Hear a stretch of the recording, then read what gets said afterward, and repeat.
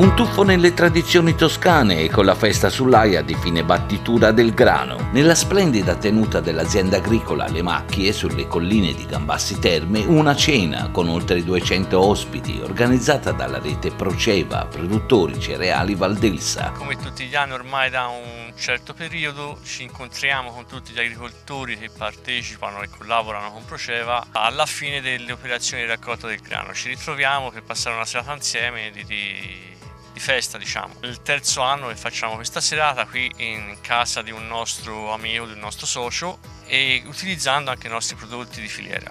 Il raccolto è stato terminato, la stagione nonostante le piogge ci è stata favorevole, una buona produzione, una buona qualità e andiamo avanti così. Sicuramente una seconda edizione di questo evento che Proceva ha deciso di fare tutti gli anni, noi l'abbiamo conosciuta e anche con TVL sono stati ospiti anche durante l'ora verde, ci hanno presentato questa bella realtà di produzione sia di grano tenero che di grano duro, eh, rapporto con la distribuzione locale, veramente quando si assaggia i loro prodotti si capisce la differenza tra il prodotto locale genuino e quello che tante volte invece è più prodotto di massa che magari costa qualcosina meno ma che a livello di qualità eh, c'è una differenza veramente importante, quindi noi siamo orgogliosi, li, li appoggiamo, li, li, offriamo eh, il sostegno per quelli che sono i loro numerosi progetti, una realtà in continua espansione che veramente rende onore al settore. È importante essere qui alla fine della trebbiatura delle aziende di Proceva che festeggiano in qualche modo come una volta su, con una cena sull'AIA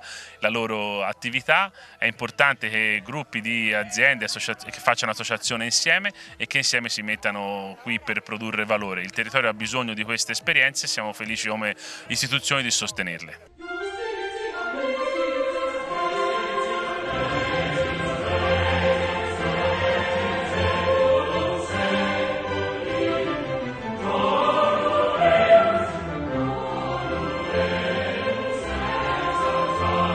Quest'anno all'interno di questa serata abbiamo pensato anche di fare una serata dedicata diciamo, a un'associazione di Empoli per quanto riguarda diciamo, una raccolta di fondi da destinare a degli ospedali di, che verranno realizzati in Africa. E ringrazio tantissimo Proceva perché ci ha dato l'opportunità eh, tramite la vendita offerta eh, dei loro prodotti di poter finanziare il centro di salute di Anieke eh, che si trova nel nord Uganda.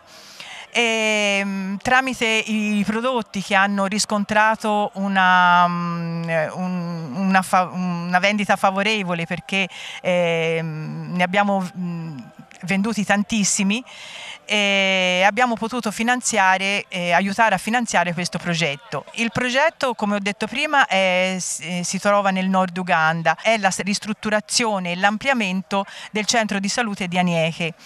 Il centro di salute di Anieke ospita eh, mamme e bambini della zona e mh, mm, riesce a effettuare più di mille parti al, all'anno e questo eh, una volta che è in funzione è un grande aiuto per l'ospedale più vicino che dista più di 50 km ed è a Berre.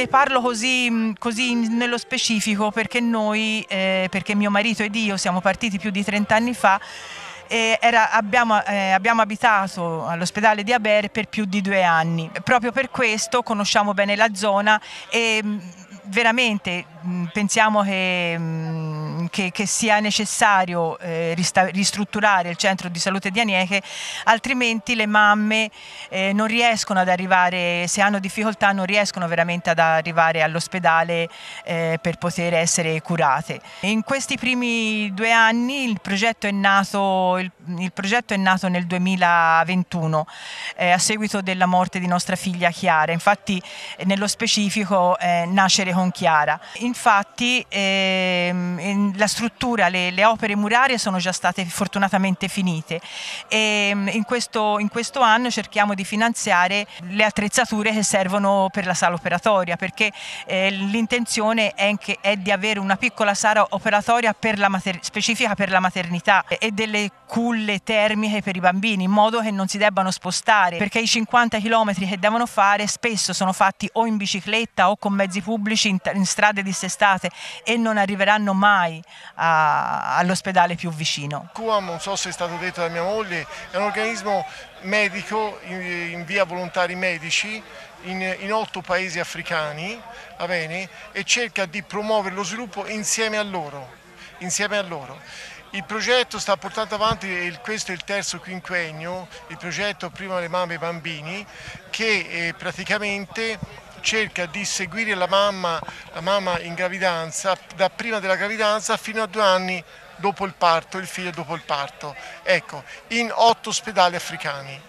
Otto ospedali africani. Questo perché? Perché è chiaro, essendo una popolazione povera non può pagarsi l'ingresso negli negli ospedali. Quindi ecco, il QAM cerca di abbassare al minimo si chiama user fees, sarebbe un ticket, un minimo ticket per promuovere, per far sì che più persone vadi, utilizzino questi centri sanitari.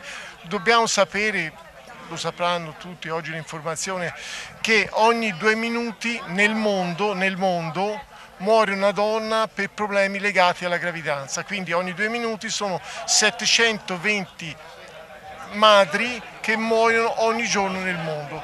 Ecco, noi con questo progetto cerchiamo di aiutare le donne, le donne in Africa.